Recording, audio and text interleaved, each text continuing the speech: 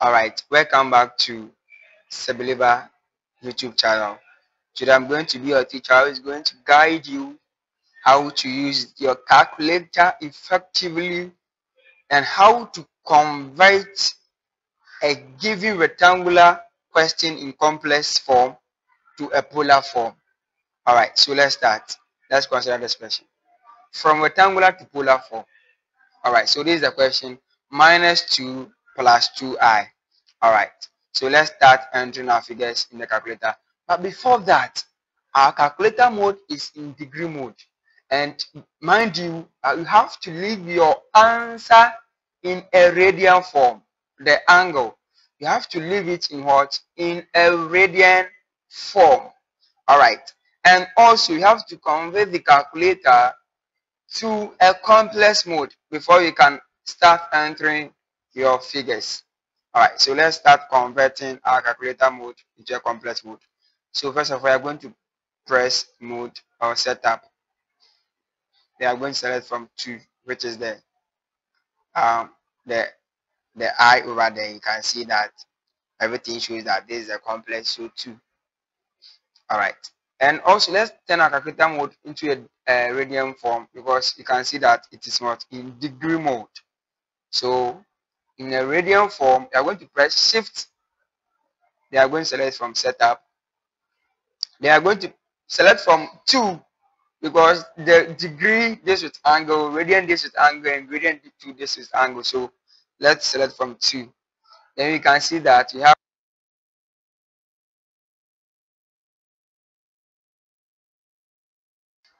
I also have the radian which is 2 so I'm going to select from 2.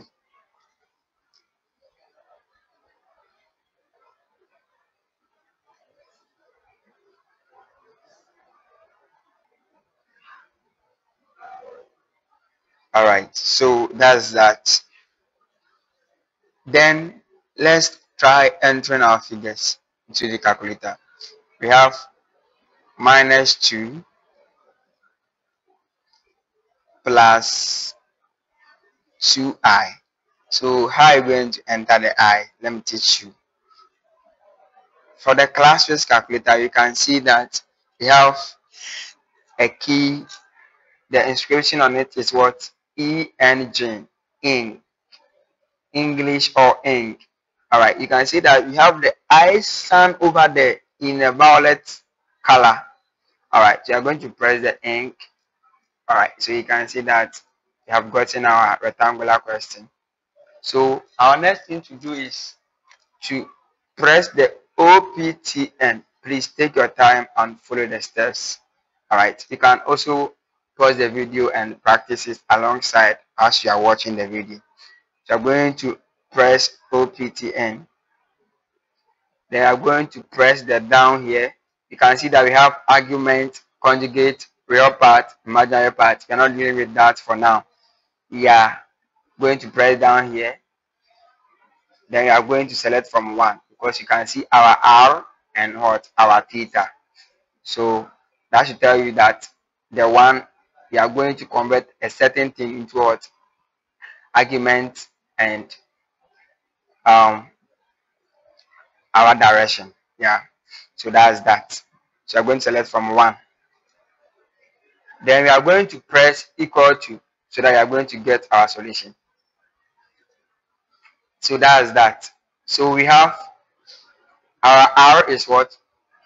2 root 2 and our theta is what? 3 pi on 4.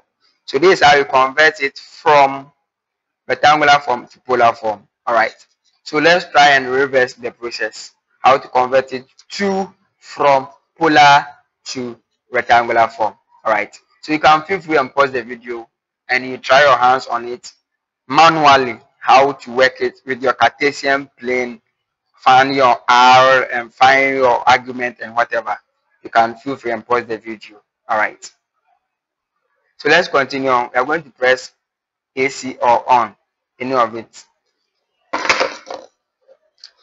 Then we are going to enter the solution we got, which is the 2 root 2 then we are going to um, press the less than or the greater than sign. So we are going to press shift, then we are going to press int, which is going to give us that sign. All right. So after that, you are going to also select from the OPTN with the option, the key beneath the shift. All right. Then the same process, you press it down here. Then you are going to select from where two because the question is what in what in a polar form right now. So you have to convert it into a rectangular form. So you're going to select from two. All right. So after this, the next thing to do is what to press equal to. So I'm going to press equal to. Syntax error. Let me check. Is there any mistake somewhere? Oh, okay. We didn't enter our hot. Our we didn't enter our angle. Sorry. So our angle is three. Then power shift over four. Oh, okay. Yeah, sorry. So that's that. They are going to press equal to. So you can see that have gotten the question back. And there's the question minus 2 plus 2i.